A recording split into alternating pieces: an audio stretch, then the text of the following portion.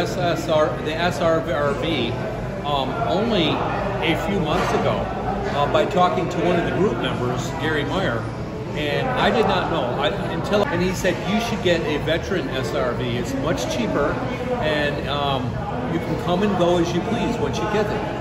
And I said, that is cool, but I never read anything about it. So I looked online, and it looked like you had to be um, retired from military service, you know, and be an officer. So I spoke to Gary, and Gary said, no, that's not true. You just need an honorable discharge, and you need to have served, and you don't need to have served in the Philippines. So I go, who do I talk to? He goes, well, it's called the PRA. He says, but don't worry. He says, I know a lady who helped me, and I'll give her your name, and I'll give you her email, and you get in touch with her, and I'll tell her that you're going to get in touch with her. So I got in touch with her, and she was wonderful. She was, um, she did everything from uh, the PRA, and she gave me uh, communications, email communications, told me what I needed to get. I needed to get birth certificate, social security letter showing my pension, my uh, my honorable discharge papers.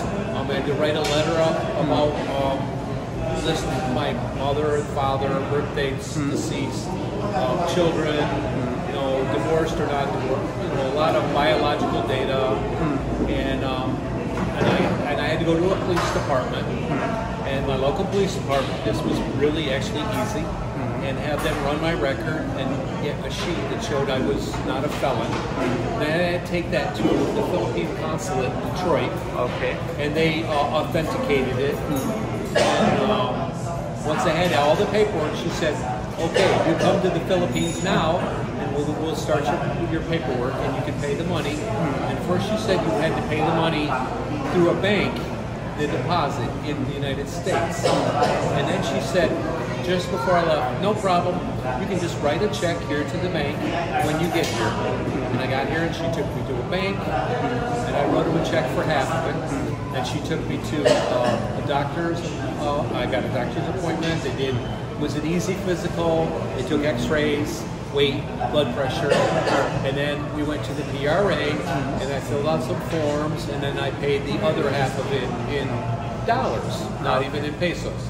So it was very. How much? How much was it? It, it total because of the exchange rate was less than three thousand dollars. It was like, let's see, it was fifteen and, and fourteen. How much the? Twenty nine hundred Okay. How much the agency cost you? and then five hundred dollars for the service.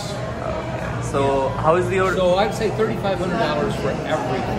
Okay, so how is your uh, feeling after getting the visa? My feeling Right now. I just hit the last stop before heaven. I, I love it here. I love the people here. Of course, you know, I, I, love my Filipino, but the culture is great. It's more relaxed, and I don't have to rush, rush, rush. It's a great place to spend my retirement, and um, I'm going to get busy and doing some things. Okay. I have not determined yet. Uh, can you show me little just your card? Then Oh, yeah. everyone will be yeah. inspired by you. Oh, they Yeah. me a big plaque a No, no, no. too. Oh, really? I got that. Yeah. So you can hide like this. This is the SSRB, Yes. SRRV, Okay. SRRV, Okay. Congratulations for your SRRV. SRRV. Yeah. Heads up. Yeah, and you can use it as a discount card if you're a senior. Oh, you also get discount by this card. Yes. Oh, okay, great. Yeah, save like three or four dollars per meal. So what do you want to tell everyone pesos. now? What you want to tell everyone now? Your just opinion or advice? If if you are um, if you're an American and you want to come here, um, find yourself a good woman and be prepared to change yourself. Okay. But it's okay. The process is painless. Okay. and it will work this time if you want it to work. Okay. And you will you will find your love, and you will nothing else will matter. Okay.